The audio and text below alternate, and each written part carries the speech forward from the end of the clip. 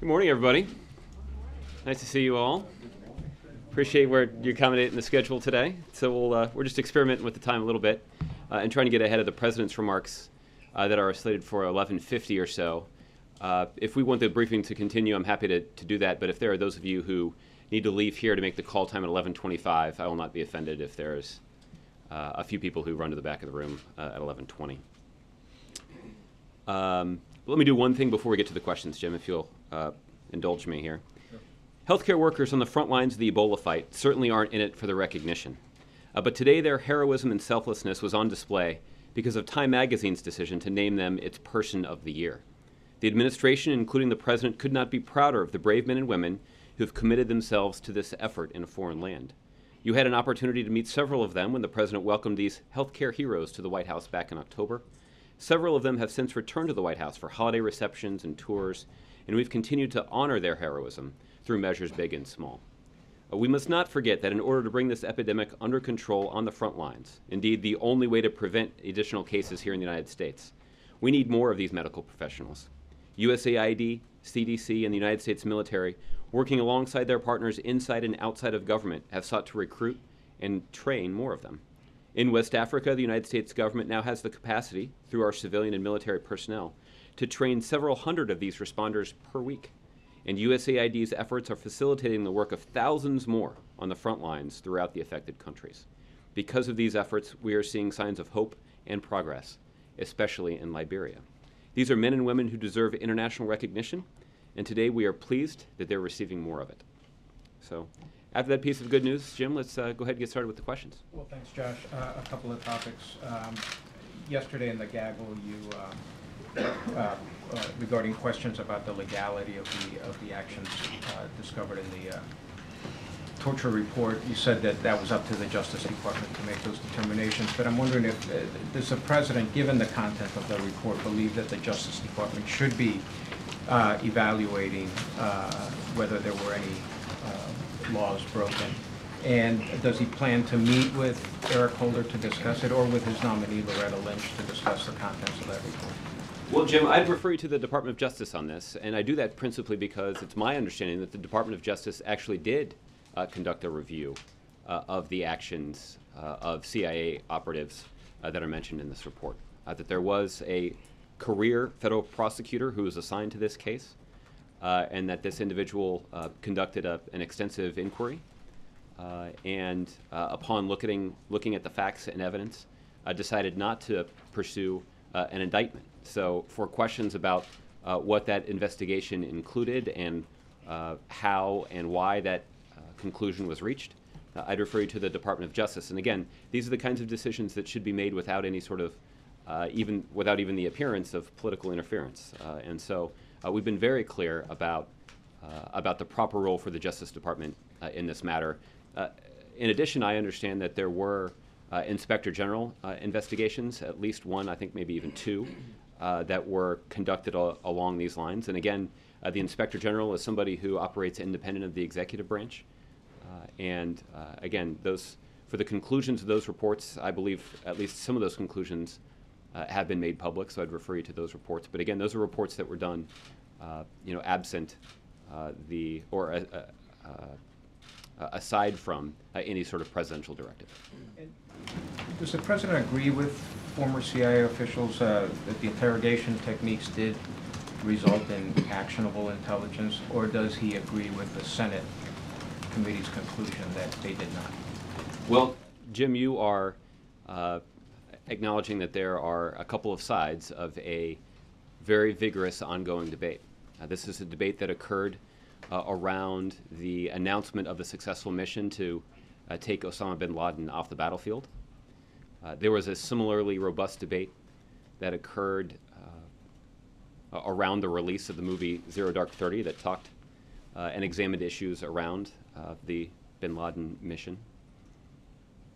The conclusion that this president has reached is that these differences, which are uh, held by well meaning, uh, patriotic Americans, many of whom have detailed knowledge uh, of these programs and of our uh, national security efforts more broadly, uh, is that there actually is one thing that both sides do agree on, and it's something that the president agrees to, which is that the most powerful, one of the most powerful tools in our arsenal to protect and advance our interests around the globe is the moral authority of the United States of America. And the commander in chief concluded that the use of the techniques that are described in this report significantly undermines the moral authority of the United States of America. And that's why the president, on his you know, second full day here at the White House, uh, issued an executive order ending those tactics. The other thing that the president did, and there's not been a lot of discussion of, of this lately, so I did want to call it to your attention. The president also, uh, through an executive action, asked that uh, the Department of Justice uh, and a couple of other relevant national security agencies uh, conduct a review of our of the way that the U.S. government interrogates those individuals who are in U.S. custody. He also urged this task force to conduct a review of the way that individuals who are in U.S. government custody uh, are handled and, in some cases, transferred to other countries.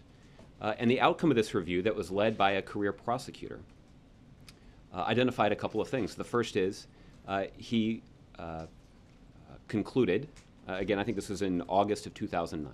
Uh, he concluded that the Army Field Manual and law enforcement techniques were sufficient uh, guidance for uh, U.S. personnel who are conducting interrogations, that that, that that was clear guidance that they could use.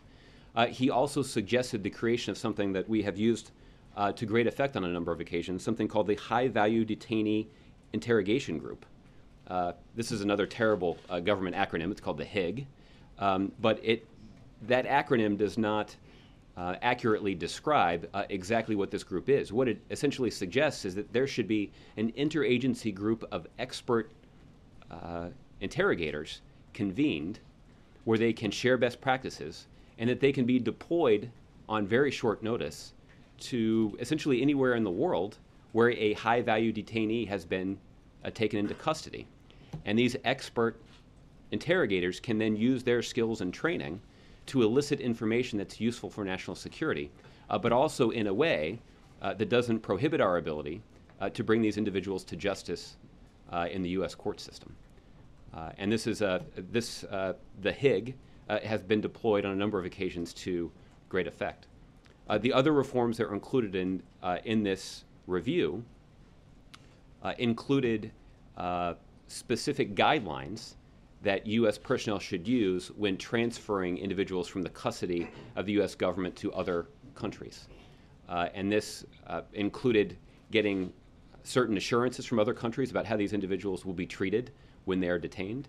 Uh, it also provides guidelines for U.S. personnel to provide uh, to conduct some oversight uh, and ensure that these other countries are living up to the commitments that they've made uh, in terms of the detention and treatment of these individuals. So this is this is just one example. And again, this is uh, the result of a task force that the president created on his second day in office to uh, make sure that there that proper guidance and oversight uh, and reform was implemented uh, as it relates to uh, interrogation and detention uh, of individuals in U.S. custody. This is important because the Senate report that was released yesterday highlights that there was not good guidance that there was not good leadership and that there was not proper oversight uh, of a lot of these programs. Uh, and yet, that's exactly what the president sought to institute on his second day in office. And I think it demonstrates the president's commitment to taking seriously, very seriously, uh, the need to uh, uh, show some leadership uh, and to reform some of the shortcomings of these programs.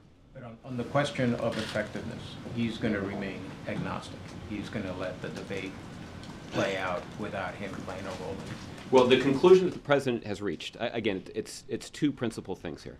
The conclusion that the president reached is a principle that people on both sides of this debate can agree to, which is that the moral authority of the United States of America is one of the most powerful tools in our arsenal to protect and advance U.S. interests around the globe.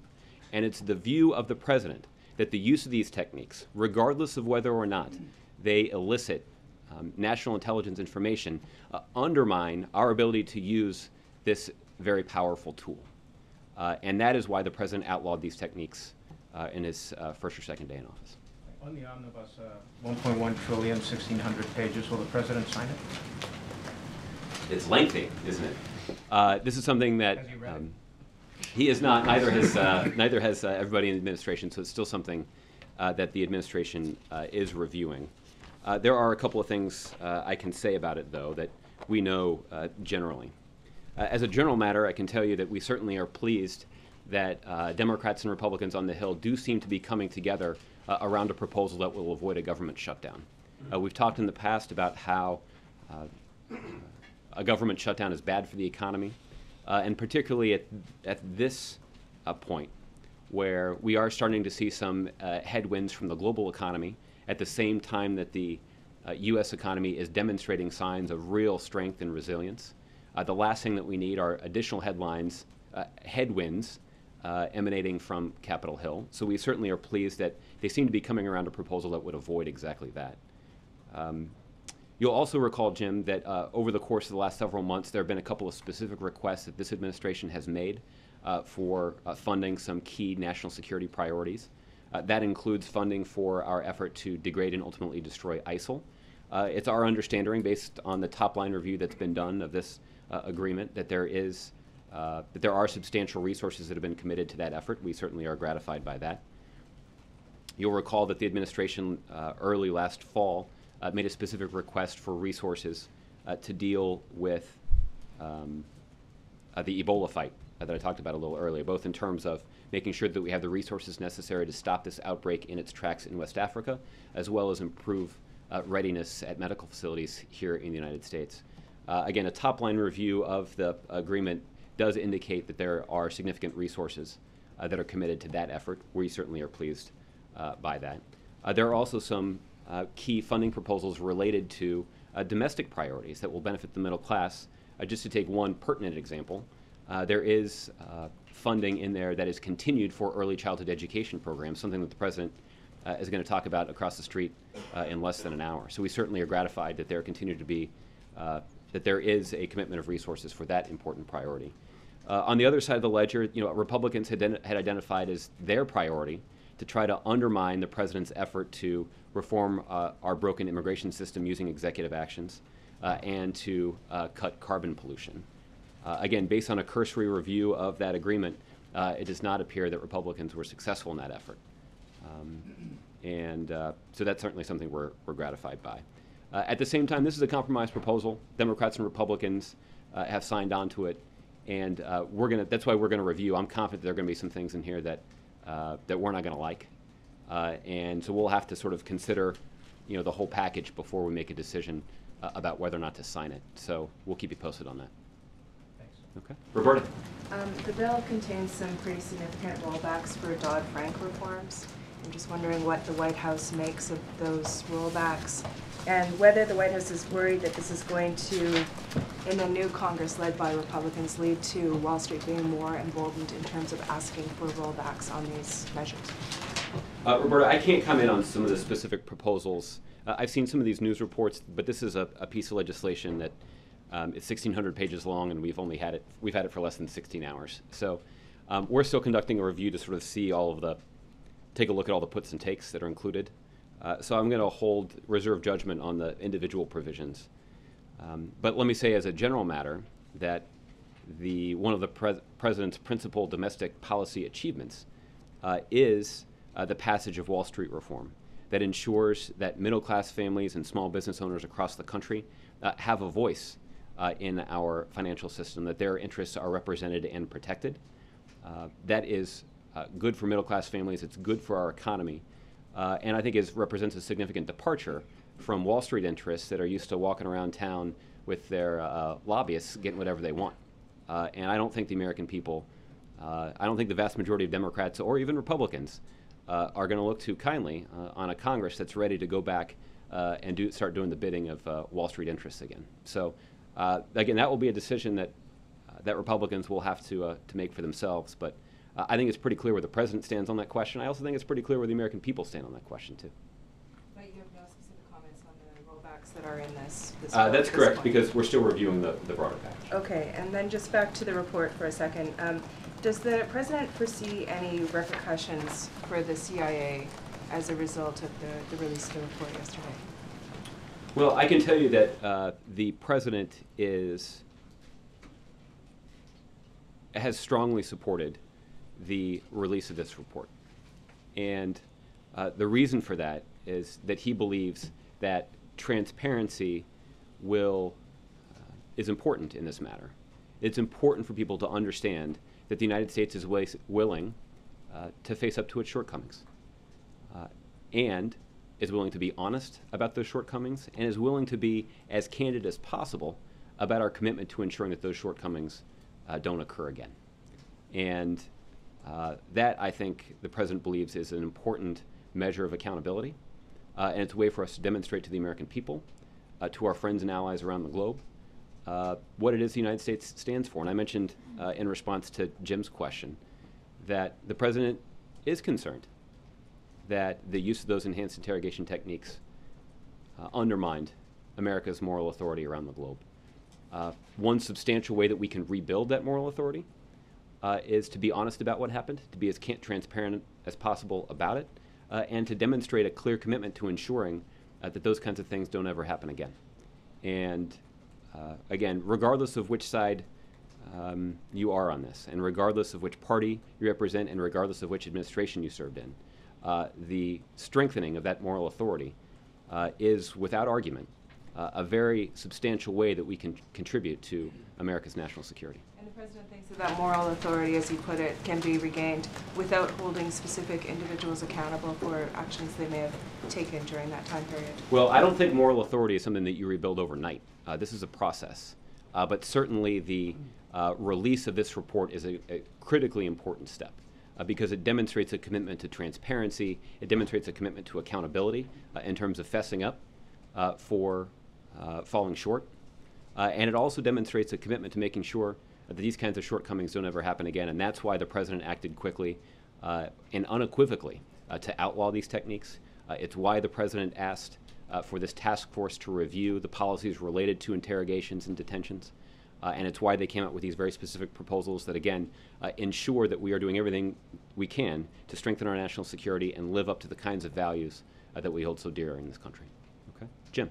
Josh, um, can we just get a, a general reaction from the president when he uh, found out some of the details that were in this report? Because there are details in this report. You mentioned that Eric Holder, Justice Department, looked at this several years back.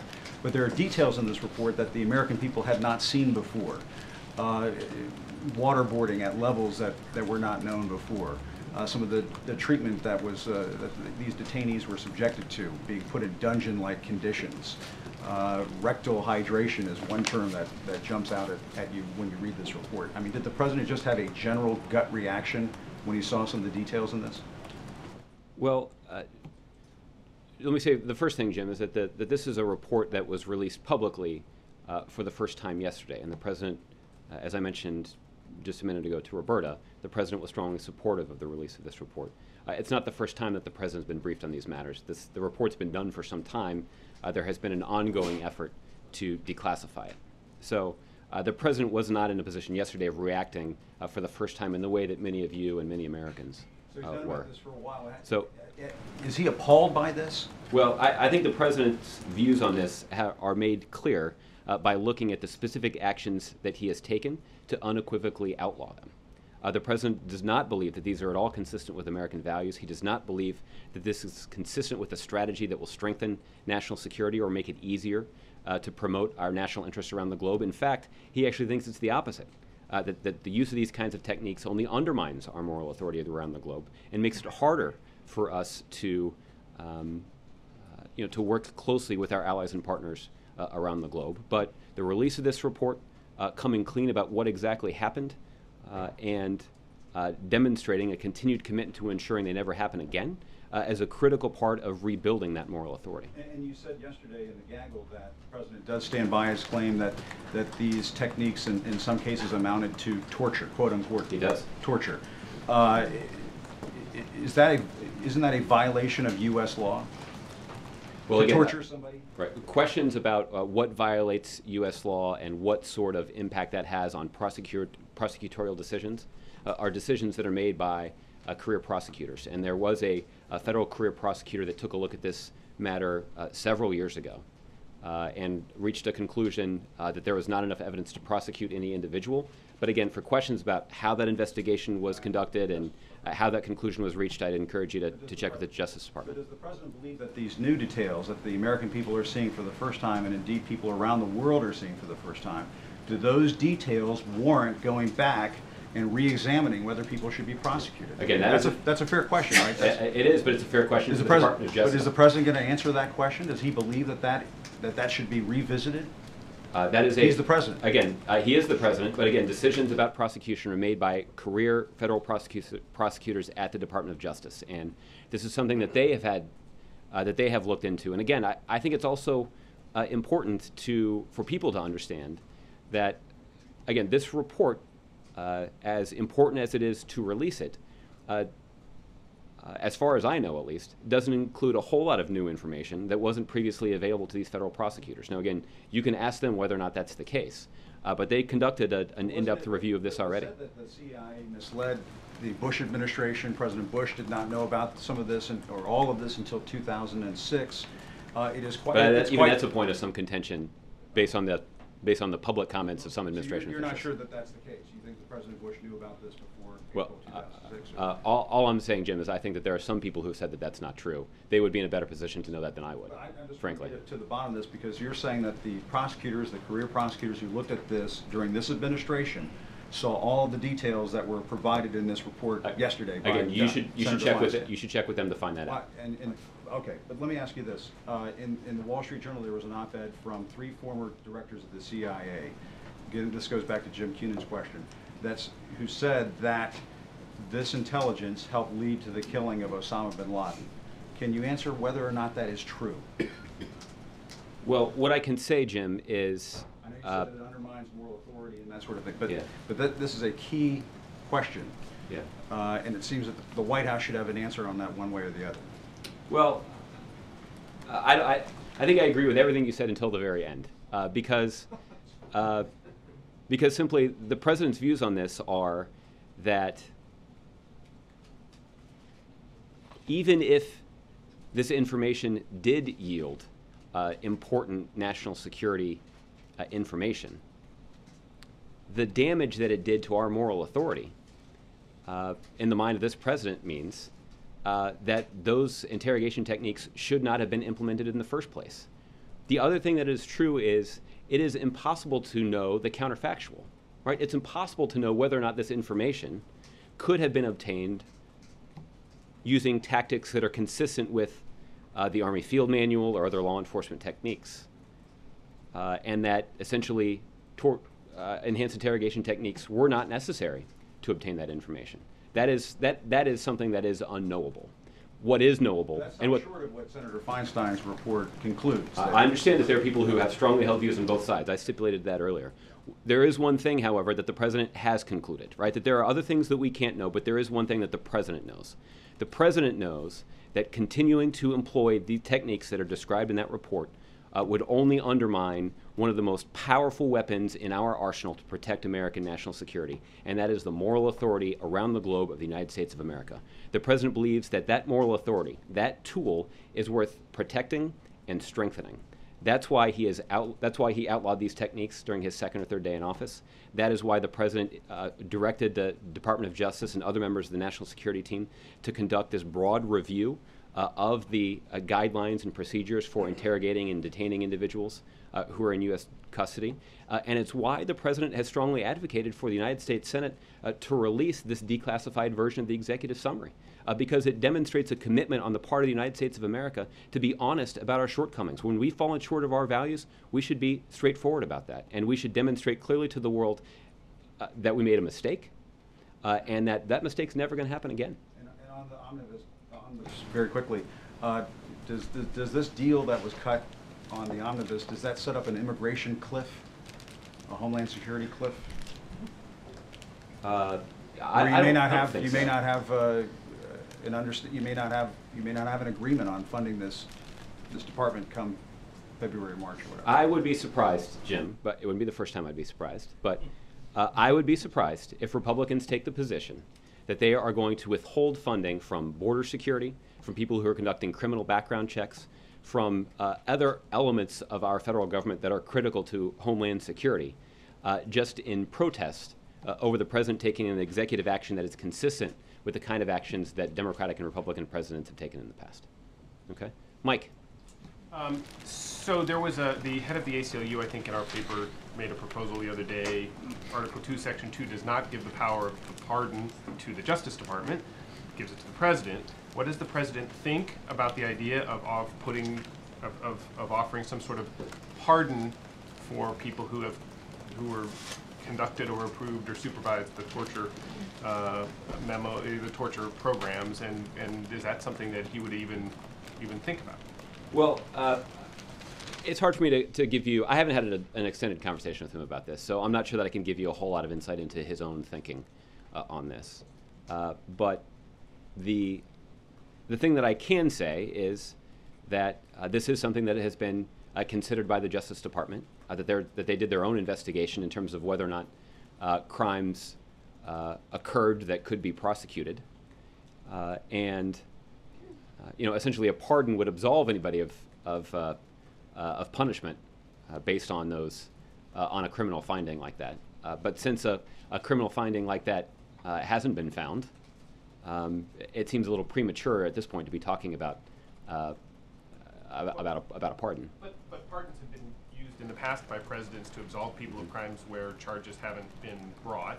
And, um, and I guess kind of the question that it gets at, whether or not he would ultimately ever do it or not, is has the president decided, notwithstanding whatever the Justice Department has mm-hmm. said, it, has, the has the president decided in his own mind whether there were crimes that were committed? Mm-hmm. Well, as I mentioned, as I mentioned to Jim, that's a decision for career federal It's not- prosecutors. It's not, it's not a decision for career federal prosecutors because if the president were to exercise the pardon power, he would have to make a determination in his own mind. Not that the Justice Department can make recommendations, but they can't decide whether or not pardon anybody, right? And so Uh, he'd have to he'd have to come to a conclusion, yes or no, in his own mind. And I'm, I'm just asking that you know, I mean, maybe the answer is he doesn't he doesn't know. He Yeah. doesn't he doesn't. Well, I, I can. T- I, I don't know whether or not he knows. I have not had this had this uh, specific conversation with him about it, so I just can't shed uh, much light uh, on his thinking as it relates to a pardon in this scenario. Okay, uh, Justin. Uh, while you've been up at the podium, Senator Mark Udall went to the Senate floor and uh, discussed the so-called Panetta review, uh, which is a classified document, but he said that the findings of the review were that Director Brennan and the CIA are continuing to willfully provide inaccurate information and misrepresent the efficacy of torture. Uh, he says the CIA has knowingly provided inaccurate information to the Senate, and he accused the White House of not having any moral leadership on this issue. And so I'm wondering if uh, talk about if there are concerns within the White House that the CIA is continuing to misrepresent uh, what they've told the committee and your response to, to Senator Udall. Well, uh, you put me in an awkward spot because I haven't seen entirely uh, what uh, what Senator Udall has said, uh, and if he's citing classified information, uh, that's certainly not something I'm going to discuss from here. As it relates to the thing, I do feel like I can speak pretty authoritatively about in terms of the president's exercise of leadership. Uh, I think it's a pretty clear sign of the president's leadership on this issue that uh, after he'd uh, been sitting in the Oval Office for two days, uh, issued an executive order uh, unequivocally banning the kinds of techniques that are described in this report. At the same time, on that second day, the president also urged, or basically called on his members of his national security team to conduct this review of interrogation policies and of our detention policies in a way that has yielded reforms to that program that uh, the report itself says were badly needed. Uh, and you've seen the president take the position of, of uh, strongly encouraging uh, the release of the declassified executive summary of this report. Uh, that is an indication that the president has very clear views on this. Uh, he's spoken publicly about it on a number of occasions. Uh, and I think the president is, is pretty proud, as he should be, of his efforts to try to rectify many of the shortcomings that are included in this report. I know that you said yesterday that the president retains confidence in Director Brennan, but you retain confidence that uh, the CIA has not misled Congress in any way during the Obama administration? Mis- misled or lied to the Congress? Well, uh, Justin, I, it's, you're asking me to account for a whole lot of people. Uh, we certainly would have the expectation uh, that everybody uh, in this administration, including everybody who works for the Central Intelligence Agency, uh, would be truthful and honest with members of Congress, particularly when they're under oath. But, you know, again, it's hard for me to react directly to what Senator Udall has said. Uh, without uh, uh, seeing exactly what he said and without being able to discuss uh, the classified report that he says he's relying on for his information. Really quickly on CRomnibus, I know that uh, you said earlier that you guys are still reviewing a lot of it, but there were a couple provisions I just wanted to run by it and see if you had any reaction on. There's a provision that kind of rolls back the First Lady's uh, school lunch program, cutting out requirements on sodium and whole grains. There is uh, a provision on, on DC home rule abortion and uh, marijuana legalization and uh, cuts to the EPA And All of these seem like policies that the president or the White House has kind of discussed in the past, and so I'm wondering if any of them are deal breakers for you guys. Well, uh, they're, they're all things the White House is continuing to review. Again, that report, uh, 1,600 pages long, and uh, we haven't even had 16 hours to review it yet. So uh, we're going to take a look at all those things. I'm confident that there are going to be things that we're going to find that we're not going to like in there, but that's the nature of uh, a bipartisan compromise. So uh, we'll have to review it, and as soon as we have a specific position to articulate, we'll let you know. Okay, John? Um, just coming back, I know you've referred a lot of questions on Justice Department, but I'm asking about the President's view. Does the President accept the Justice Department's decision that there is no prosecutable crime that was committed here? Does the President, they, they've said it, they've investigated, they have decided not to prosecute, that's a fact. But does, does the President accept the conclusion of his own Justice Department, that there are no prosecutable crimes committed here? That is the way that our criminal justice system works, which is that we have career federal prosecutors that are insulated from any sort of uh, political in- interference, even the appearance uh, of political interference. Uh, and the president uh, accepts that's the way that the system works.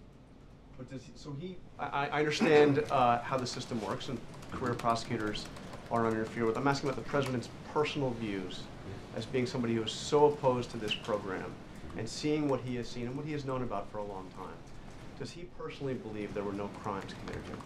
Uh, John, that is a question, again, that is, that is not a question for the President of the United States, right? It's not the President of the United States who conducts a criminal inquiry uh, into the actions of, uh, uh, of, uh, of somebody who works at the CIA. That's the responsibility of a career federal prosecutor who can take an independent look at this, can do so without any sort of uh, political interference, uh, and can conduct an investigation and reach a conclusion uh, d- based on their own uh, view of the facts. That is the way that our criminal justice system works. The president has confidence uh, in the criminal justice system. He's certainly got confidence in the professionalism of, of the prosecutors who reviewed this matter. Uh, but again, that is a conclusion for them to draw, not one for the So- president so, of the So it's a yes or no thing. I think you're answering yes, but let me just be confirmed. The president accepts the decision of the Justice Department, the finding of the Justice Department, that there were no prosecutable crimes committed by the CIA in this program. Again, this is something that Yes, uh, right? federal federal career prosecutors looked at carefully. They did so without any sort of political interference, as they should. Uh, that is the way that our criminal justice system continues to work, and the president has confidence both in this justice system and in the way uh, that it was deployed in this particular situation. So he accepts no crimes Uh, committed. So the president, uh, again, uh, is confident that we've had federal career prosecutors who took a careful look at this. They used exten- ex- extensive resources to sort of review all the relevant materials. I, I suspect they interviewed witnesses. This is part no of. crimes worth prosecuting committed, and the president accepts that. That's all. It's just a Again, simple. uh, and again, I'm doing my best to answer your question, which is there is a process in place uh, that is uh, administered by career professionals uh, who did what they were supposed to do in taking a careful look at this. Okay. Uh, and they reached their own conclusions, and the president certainly believes firmly in their competence uh, and in the system. Now, I want to ask you a direct question. Um, that you've. I'll try to give you a direct answer. So I, I really would appreciate a direct answer. I will do my best. Uh, the president nominated John Brennan to be his uh, CIA director. Yes. John Brennan. Nailed it. No further questions. Uh, no. So, so, so John Brennan, the president's CIA director, has said that this program, these harsh interrogations, what the president has called torture, provided valuable and unique intelligence that helped disrupt plots and save lives. So just a point blank question, does the president agree with his own CIA director that this program saved lives? Just a yes or a no? Right. Well, John, this is the thing. I.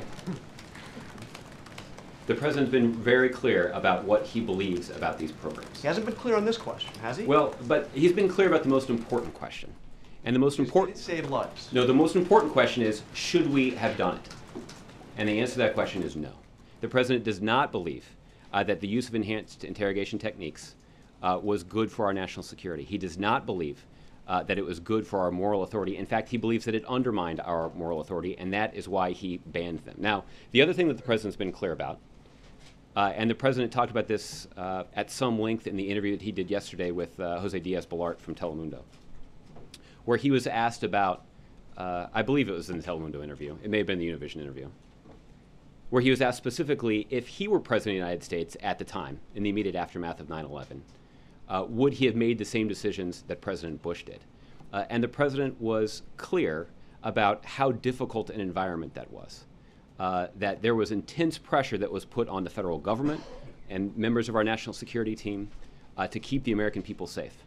Uh, and the president is very sympathetic to how difficult uh, it was for everybody to operate in that environment. All the more reason that we can be clear and unequivocal now about how the United States will never again uh, implement uh, the use of, uh, of enhanced interrogation techniques because uh, it undermines our moral authority, which the president views, uh, and I think everybody can agree on this, is one of the most powerful tools in our arsenal to protect the interests of the United States of America. But John Brennan has come out specifically and he's provided specific examples of where this program saved lives. And, and I'm just trying to get at it. I understand the president thinks it was the wrong thing to do, but did it save lives? Well, again, uh, John, Or, or- is I- I- continuing to mislead the American public and Congress as the uh, Senate Intelligence uh, Committee report alleges? Right. Well, no, listen, the president uh, has relied for years now uh, on the advice of John Brennan. John Brennan is a decorated professional and a patriot. Uh, and he is somebody that the president relies on on a daily basis to keep this country safe. Uh, Mr. Brennan worked here in the White House for uh, four years as the president's top Homeland Security advisor, uh, and, the, pr- and Mr. Brennan has continued his service as the director of the CIA. Uh, the president believes that he has done an exemplary job uh, in both of those roles, uh, and the president is pleased uh, that he uh, is able to rely on the advice of a dedicated professional like Mr. Brennan uh, to protect the, the United States and our interests. But is he right on this? Well, again, John, the this is not a small question. This gets at the, the no, it's not. matter. It's not a small question, but is a smaller question than whether or not uh, these kinds of interrogation techniques are worth it.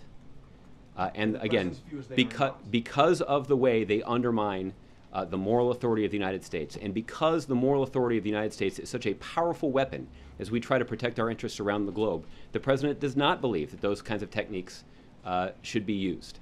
Okay, but the CIA said And that's, and that's why he has acted unilaterally to unequivocally uh, outlaw them, and he did so in his second day in office. But the CIA said yesterday that these tactics provided information that helped prevent another mass casualty attack.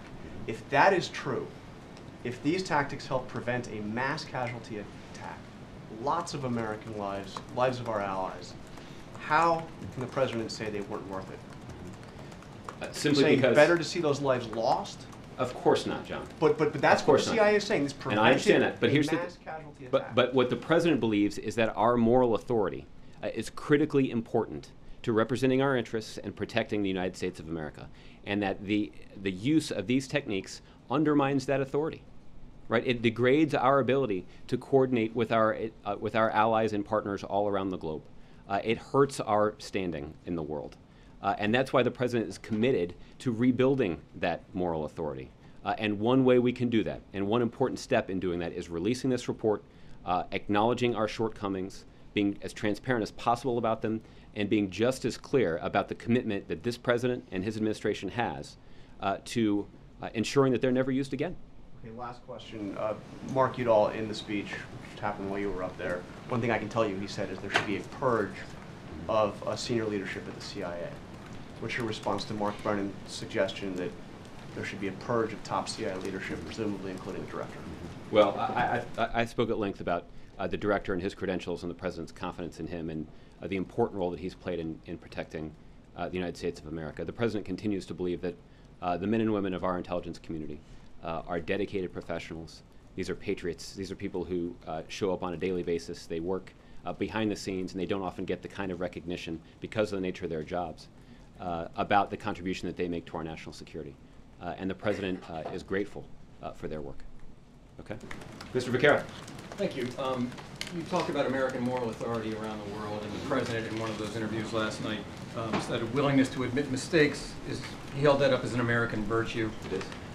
Now you have a top UN official calling for prosecution, the president also saying it's contrary to who we are, this interrogation is contrary to who we are. Is it not also contrary to American values not to prosecute those who are guilty of international crimes? Well, I'll just say as a general matter, Mike, that the United States is committed to complying with its domestic and international obligations. And we believe that the United States justice system is the appropriate place for allegations about conduct by U.S. officials to be handled. Uh, and as we've discussed here at some length, uh, there was a, an independent Department of Justice criminal uh, investigation that was conducted. There have been uh, at least two independent Inspector General investigations uh, that have been conducted. And um, Were all the facts that were revealed in this report known to those DOJ officials? Again, you'd have to ask them about their But investigation. Shouldn't it be looked at again in light of uh, new information? Well, again, you'd have to ask them if there was new information that And, came and to light. the White House doesn't have any position on it.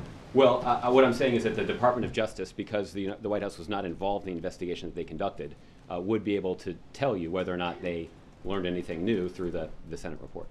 Okay. Ed?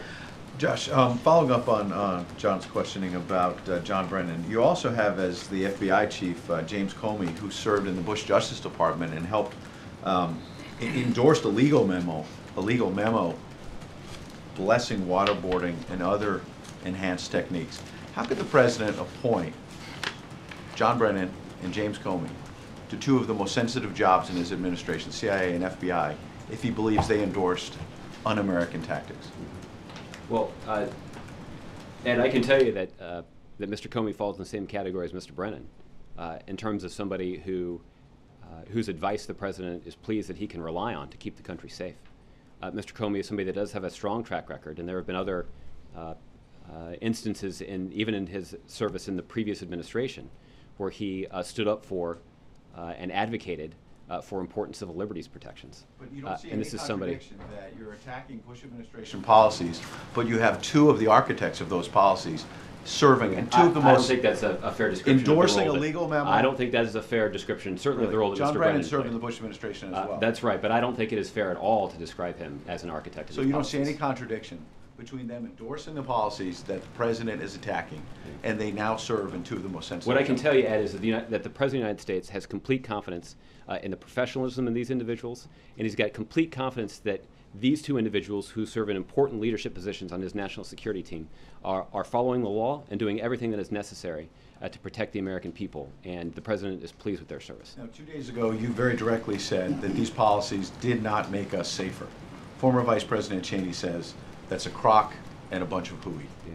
How do you respond? Uh, this is not the first time, and probably not the last time, that this administration strongly disagrees uh, with the views articulated by Vice President Cheney.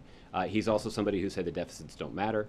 Uh, he's also somebody that predicted that, uh, that American troops would be welcomed as liberators uh, in Iraq. So he's got a, um, not a particularly strong track, rec- track record when it comes to uh, articulating a policy that this president believes is in the best interest of the country. Vice President Cheney has such a weak track record on those very issues, why, as John said, why does the pre- this president, it's not President Bush, but this president CIA director, basically agree with Dick Cheney that these tactics saved lives? Again, Your I- CIA director agrees with him. For, uh, uh, for uh, questions about Mr. Dr- Brennan's position on these issues, I would uh, direct you to the CIA. They can explain them to you. I don't think that he would say uh, that he agrees wholeheartedly with Vice President Dick Cheney. But again, you should ask them. programs save lives. Yeah. Well, I, I again, I don't think their views are the same. Okay, uh, you have repeatedly talked about moral authority.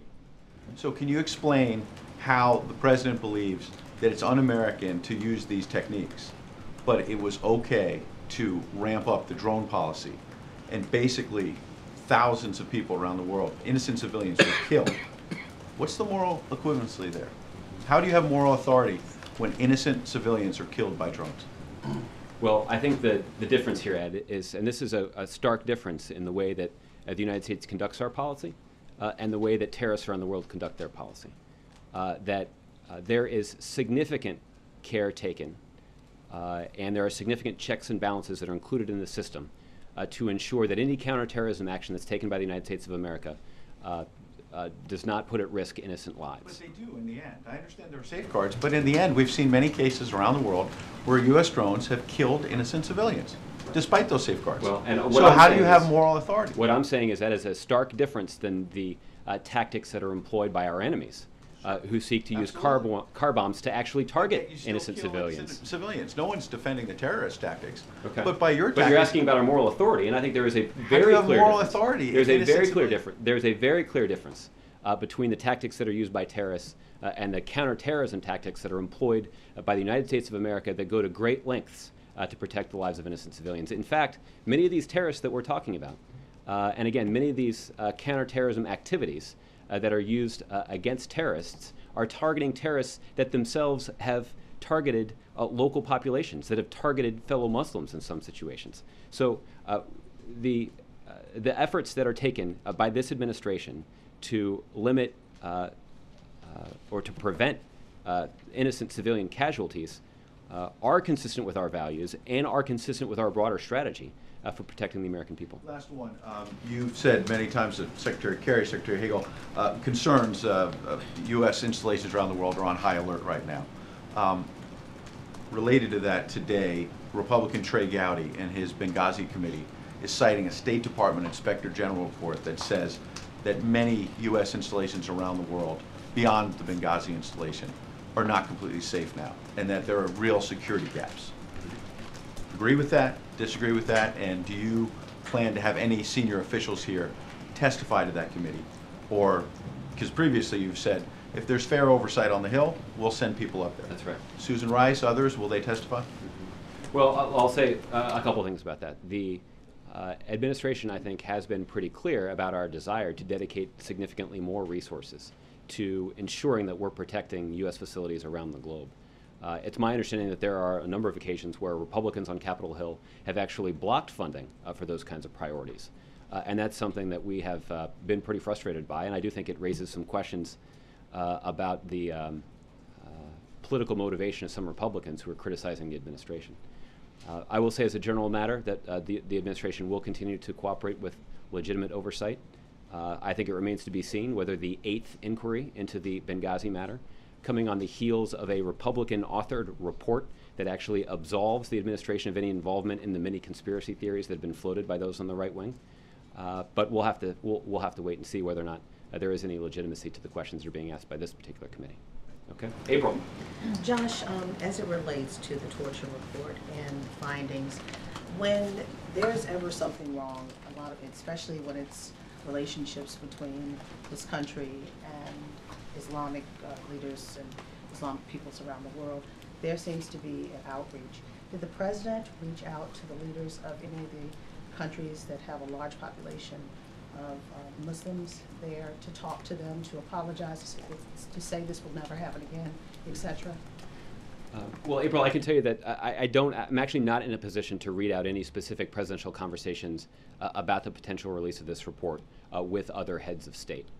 Um, the president obviously has, uh, uh, you know, has an open line of communication with many uh, world leaders, including the King of Jordan, who was just here last week. I frankly don't know whether or not they discussed the impending release of this report, just because I'm not in a position to read out any presidential conversations about this specific report. Very big issue is when this president first came into office, he really made a point to reach out to many of the heads of these nations to say, look, we are trying to, to damp down any kind of uh, escalation of jihadist activities and, and to show you we're not the country that may have been, you may have perceived us as. So where is this White House when it comes to possibilities of continued, continued outreach after this report? Well, uh, let me say a couple of things about that. You know, we've talked quite a bit about the um, about the success that the United States has had and the president has had in building a broad international coalition to degrade and ultimately destroy ISIL. Uh, some of the members of that coalition are uh, are Muslim countries, and to have uh, those Muslim countries working closely with the United States to go after a group like ISIL, I think speaks volumes about the success that the president has had uh, in strengthening uh, our cooperation uh, with regional partners as we confront this uh, shared threat. We even have um, Muslim countries flying fighter jets alongside American pilots and dropping bombs on ISIL targets in Syria. Something that I think even a few months ago uh, was, if not unthinkable, at least a, a proposition that many uh, impartial observers viewed skeptically. They didn't think that, that these Muslim countries would ever join the United States uh, in this effort. Uh, but yet we have uh, fighter pilots from uh, the UAE and from Jordan and from other Muslim countries in the region who are flying alongside American pilots and dropping bombs on ISIL targets. That demonstrates the success that this president has had in strengthening our relationship uh, with countries uh, in this region, this volatile region of the world, but also uh, in, build, in building strong ties with other countries uh, around the world. Uh, we've also gotten significant cooperation from other more traditional allies, allies like France, the UK, Belgium, the Netherlands, Canada, Australia, and Denmark. These are countries that are actually flying combat missions over the skies of Iraq, again, alongside American military pilots. That is an indication that we have uh, strengthened our relationship with countries in the region and around the world, uh, and we've done so in a way that significantly benefits uh, American interests around the world. So is it beyond the possibility to think that the president did or will reach out to some of these leaders uh, for discussion and/or apology? Well, uh, if he does, uh, I don't anticipate that it will be uh, the kind of conversation that we'll read out. Okay, and lastly, um, Detroit, um, this week, it's expected to come out of, the city is expected to come out of bankruptcy. What do you say about that, particularly as they're coming out of bankruptcy and still they have a debt into the billions of dollars? Uh, well, the city of uh, the, the Obama administration has worked closely with officials in the state of Michigan and the city of Detroit as they've worked through the significant uh, financial problems plaguing that city.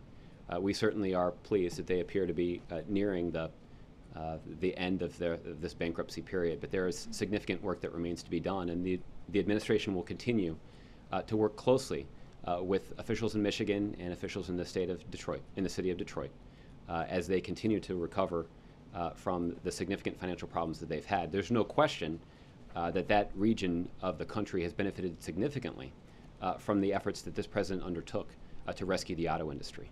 Uh, and again, it is thanks to the grit and determination of, uh, of American workers that that industry has come roaring back.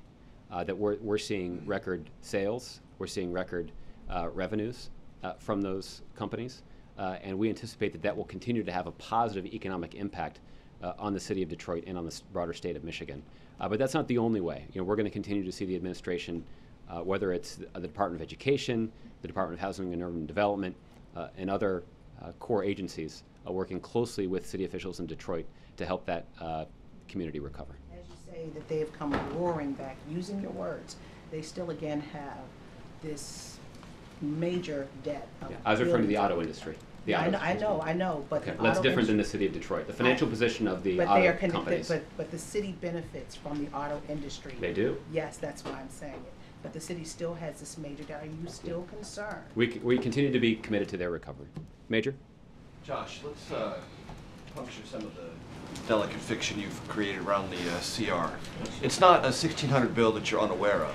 This is not a particularly charitable. Well, my comments this morning. I mean, yowza. bill, but you know what's in it. You negotiated with it on the Hill for two and a half weeks. Well, Barbara Mikulski is not a stranger to this White House.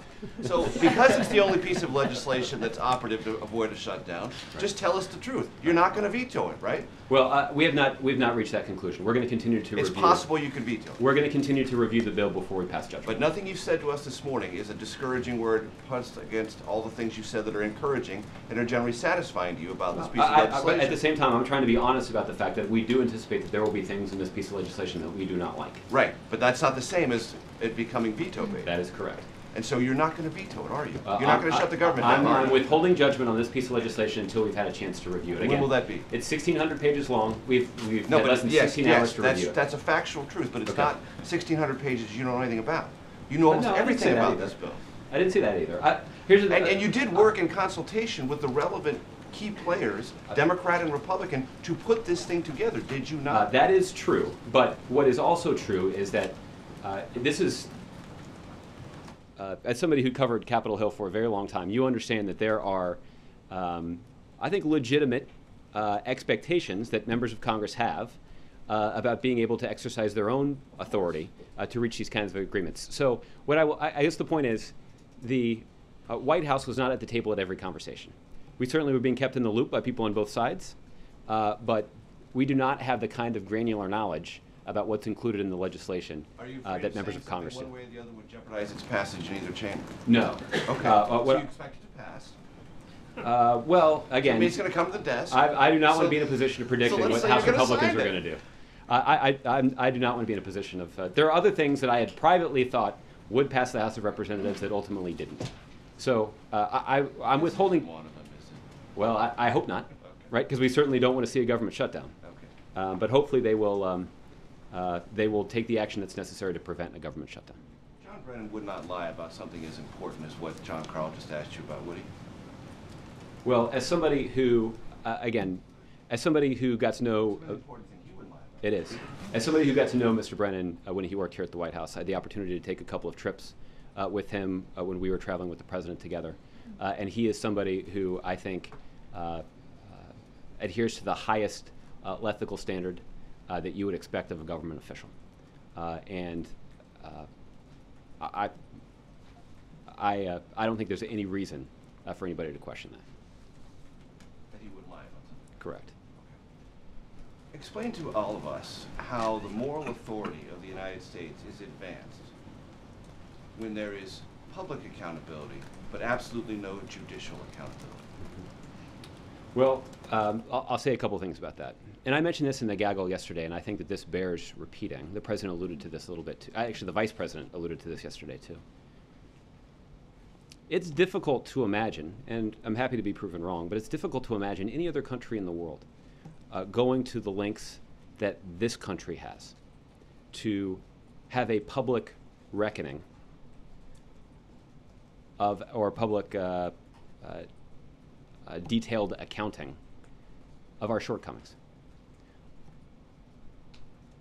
What that serves to do is to remind the world about how serious we are about our values, to be candid about the fact where we've fallen short, uh, to be candid about our commitment to making sure that we're going to go in and, uh, and fix the problems that occurred, and that's what the president did in terms of announcing uh, the reforms of our uh, of, uh, of our in- interrogation pro- protocol and of our detention process, um, and to demonstrate clearly that this is something that's never going to happen again. Uh, and I think that is uh, uniquely uh, American in terms of our willingness to stand up for our values in that way. Uh, and I don't think anybody on either side of this debate, and there is a very robust debate, and I think that there are worthy arguments to be made on either side of it.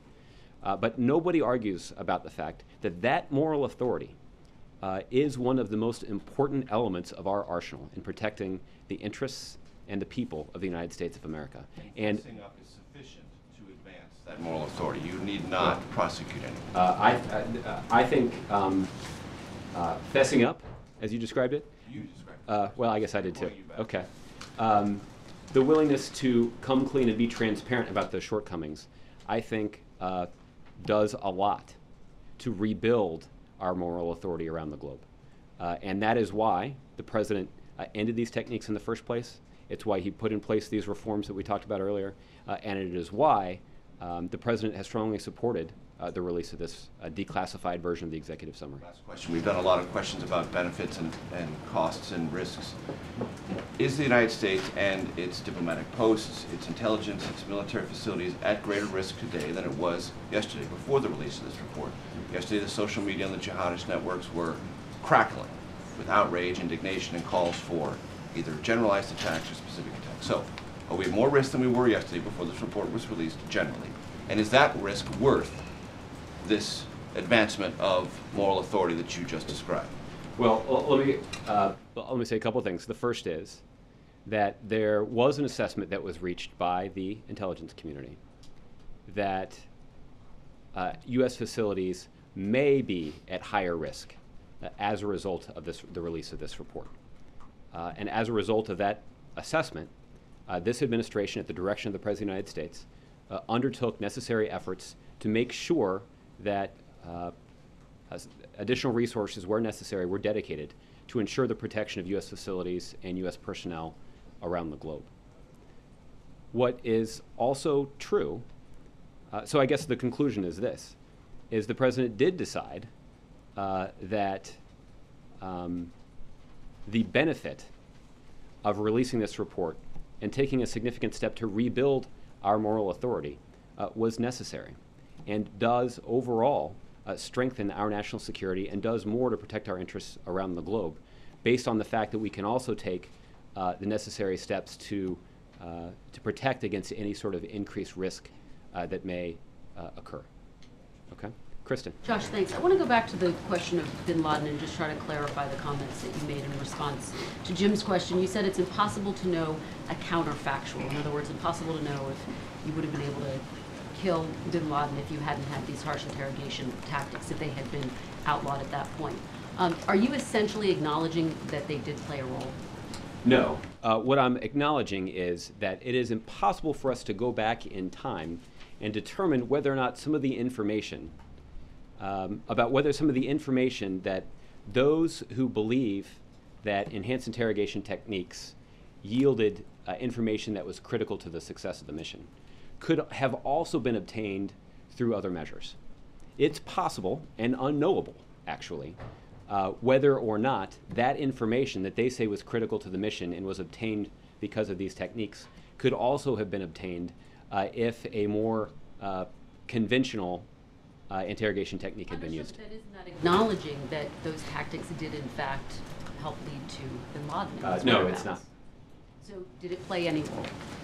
Well, again, there are people who are engaged in a, a pretty uh, vociferous debate uh, on both sides of this issue. But it sounds like you're not ruling out the possibility that it may have played, that these harsh interrogation tactics may have played a role in finding and Uh, what I'm acknowledging is that there are good people on both sides of that debate. Uh, and where the president comes down on this is that uh, regardless of which side of that debate you're on, uh, that the need to, uh, to strengthen and enhance our moral authority around the world uh, is paramount when it comes to this question. Josh, President Obama had to have seen the intelligence when he approved the raid. So doesn't he have an opinion about what role this intelligence played? Well, uh, the, the president uh, did receive an intelligence briefing in advance of the raid, uh, but that intelligence briefing um, uh, doesn't necessarily provide a detailed account of how that intelligence was obtained. Um, the point is that, uh, again, for when it comes to the commander in chief, uh, and when it comes to making policy decisions, uh, the president, I think, has spoken unequivocally uh, about his view of this matter. It is his view uh, that the use of these enhanced interrogation techniques does not serve our national interests. It does not make it make us safer because it undermines our moral authority, and our moral authority around the globe uh, is critically important to protecting and even advancing American interests around the globe. All right, let me ask you about something that Secretary Kerry uh, said yesterday when he was um, testifying. He said that an AUMF should not prevent the use of ground troops, saying, quote, um, Congress should not bind the president's hands when it comes to an AUMF. Given that the president doesn't plan to send in ground troops, he's been very clear about that, why shouldn't the legislation prevent the use of ground troops? I, I believe that Secretary got into this. Uh, the reason the reason is simply this: it's impossible for us to imagine all of the contingencies that could occur. The president's been very clear that he does not envision a scenario where he is going to commit substantial uh, U.S. ground troops in a combat role in Iraq or in Syria. But as some people have pointed out, there actually is one reported instance where the president did commit ground troops in what I think everybody would describe as a combat role uh, in Syria. Uh, earlier this summer, the president ordered uh, U.S. Uh, personnel to go into Syria and to try to put boots on the ground and to try to rescue uh, American hostages that were held in Syria. If we were to uh, include in the AUMF uh, provision banning the use of combat troops, uh, the president's hands would be tied, and he wouldn't be able to order uh, a mission like that. And that is what we're seeking to avoid. Uh, and that is why we believe that that um, doesn't constitute, you know, a responsible limitation on the president's authority. But he still stands by the statement that he's not putting boots on the ground in this current conflict in That, Syria. that is absolutely correct. If- If Congress does authorize an AUMF that includes um, the possible use of ground troops, What's to stop this president, the next president, from engaging the United States in, in an ongoing endless war? Well, these are policy decisions that are made by the commander in chief. Uh, and the reason that the president would like to see uh, the passage of, a, an, of an updated, right sized authorization to use military force that actually reflects uh, the conflict that we're engaged in right now uh, is an indication that this president is eager to move the United States away from a permanent war footing. Uh, Secretary Kerry made reference to the fact yesterday that he supports, that this administration continues to support uh, the repeal of the 2002 AUMF. Uh, the president has given uh, at least one high profile speech on this precise issue. And, you know, the other thing I think that is relevant is the American people are going to have some bearing on this, right? That we have a civilian in charge of our military. We have a civilian commander in chief that's elected by the people of the United States of America to make decisions about whether or not to take uh, uh, prolonged military action uh, in a way that protects our national security interests. And we, we entrust the uh, commander in chief that's elected by the American people to make these kinds of, of decisions. Uh, so I guess the point is uh, the president took office vowing to uh, get our troops out of Iraq in a responsible way, uh, to uh, deal with the situation in Afghanistan and wind down uh, our involvement in that effort, that to move us off of a permanent war footing. These are all things that the president campaigned on uh, and was strongly supported by the American public. So I guess the point is those sort of what if provisions are things that are going to be, are outcomes that will at least be heavily influenced uh, by the American public, and that's the way that it should be. Okay? Thanks. Jessica. Thanks, Josh. Um, I want to go back to um, what you were talking about with moral authority and the potential impact on American foreign policy. If you acknowledge that the U.S. has lost moral authority, how does that impact U.S. foreign policy, especially when calling out other countries for human rights abuses? Yeah. Well, I'll say a couple things about that. The first is I think that we've made substantial progress in rebuilding that moral authority uh, since these uh, these uh, actions were implemented. Uh, and I think there are a couple of reasons that we can uh, assert that. The first is the president did take these steps uh, in early 2009 to put in place a task force that later in 2009 announced significant reforms uh, to the way that U.S. personnel uh, interrogate and detain uh, individuals that happen to be in the custody of the United States government. so that's notable. I think the second thing is the president was very clear in outlawing these techniques. Uh, he was unequivocal in doing so. And that, I do think, substantially rebuilt uh, U.S. credibility and moral authority uh, around the globe. And we have evidence uh, that this is that the uh, that this effect uh, is having an impact on our ability to protect American national security interests around the globe. if the U.S. moral authority had been substantially diminished, we would not have had so much success in building a coalition of more than 60 countries, including many uh, Muslim majority countries in the Middle East joining us in the fight against ISIL.